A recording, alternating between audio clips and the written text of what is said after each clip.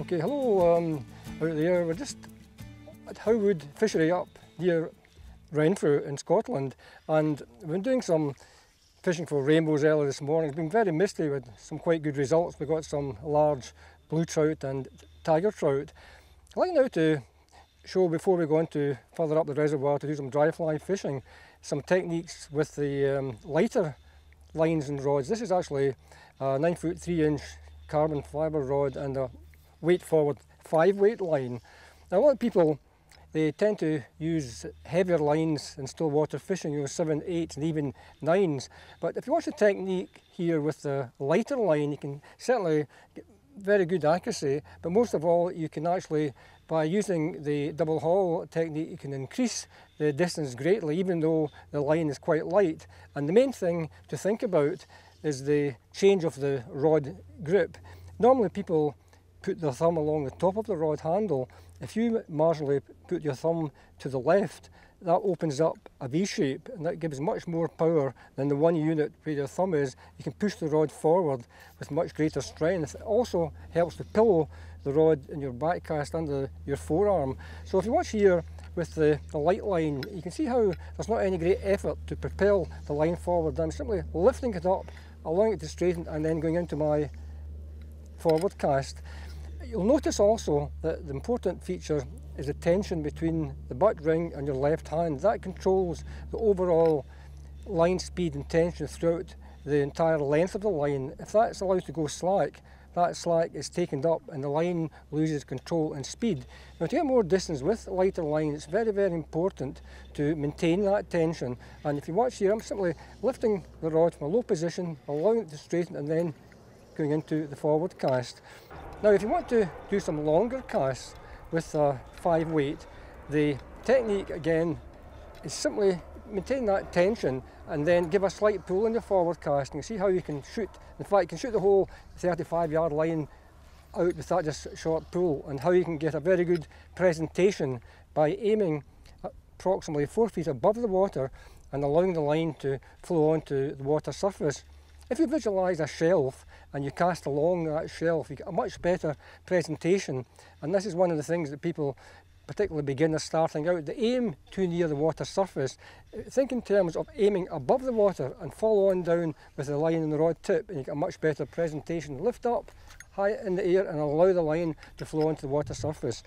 I'd like to now go on to do some much longer cast by increasing the speed and the pull with my left hand and you'll notice here I'm actually bringing the power quite close to my shoulder and then going into the forward power stroke. It's just last movement as if you had a hammer and you're turning your wrist over to hammer in the nail. That increases the speed of the rod tip and gives you much greater speed in the whole fly line. So if you watch here, I'm actually pulling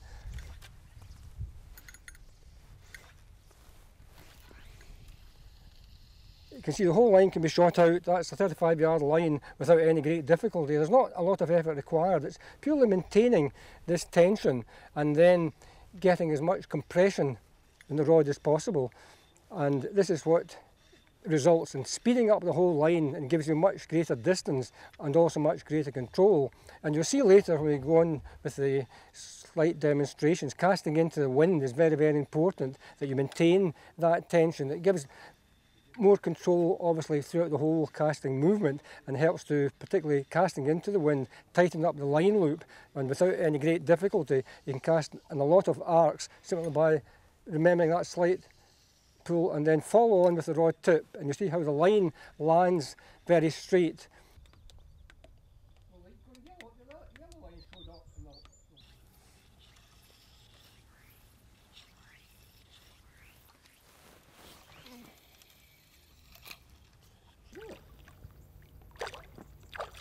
Was it? No, it looks like a tiger. I think it's a, I think that's a tiger trout. Mm -hmm. Quite good, isn't it? Yep.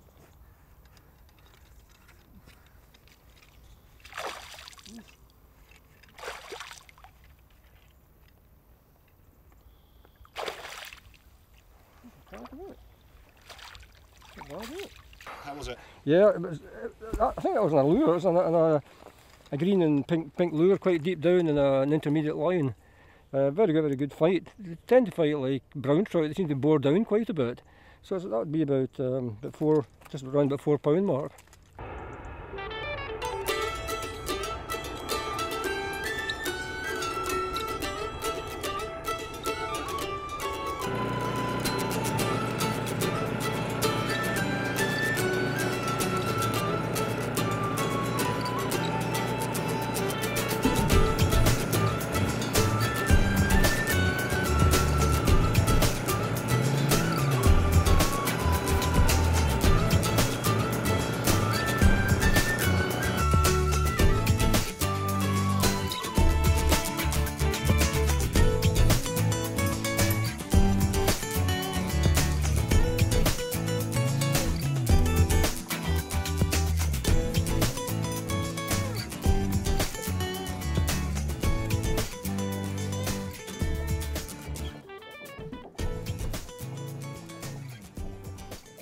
Aye, this is us now in the water um, at Chew Valley Lake here.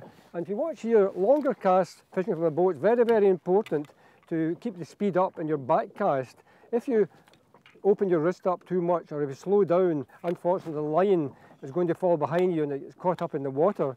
So what I'm doing here is actually, as I said earlier, on the bank, maintaining the tension between the butt ring and my left hand and making sure that the speed is kept fairly high both in the back and the forward cast.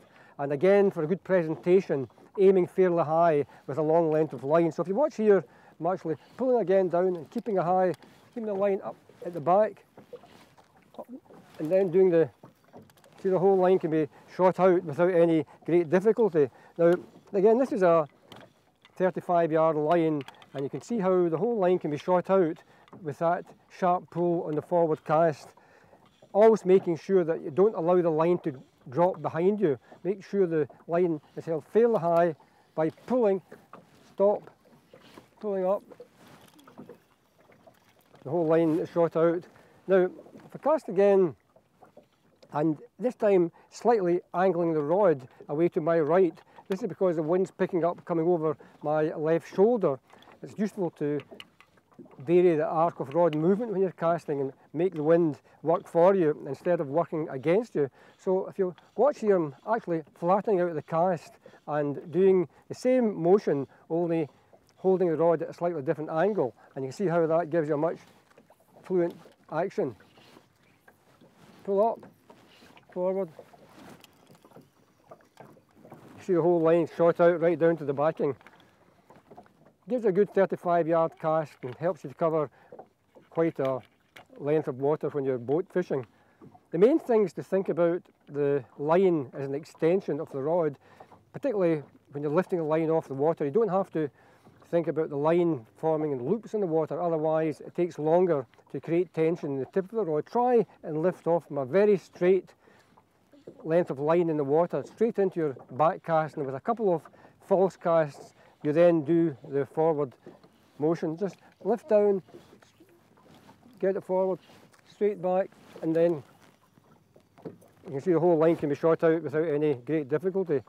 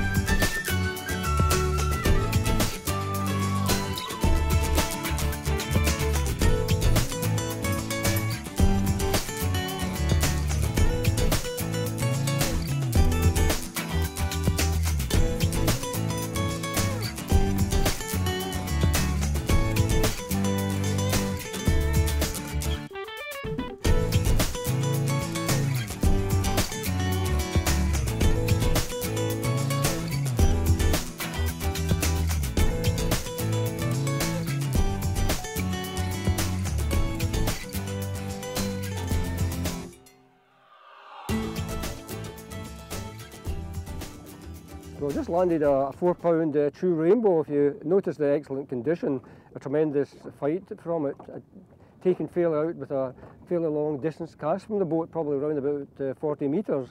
Uh, that took um, a Diawl Bach and the middle dropper. I had a blob in the point, probably which pulled the fish up, and the um, the fight quality is tremendous. So you can see the, the good condition that you, you get in th this water here. So hopefully that's the fish starting to come on now.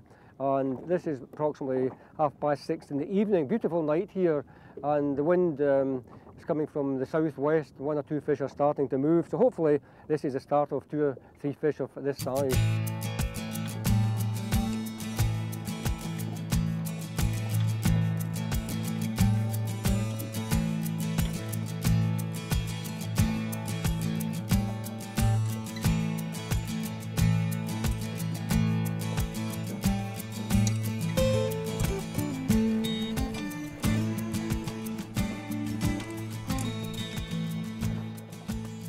Again into another fish at the Chew Valley Lake. A bit smaller this time, but tremendous fight. And again, taken off the top of the water. This one took a, a Diawl Bach, a size 12. And you see here, the fight from these fish is tremendous. Very, very good quality fish. And you see, bring it to the top here, how how they fight. The, the rod being pulled down right under. There we are, up to the top.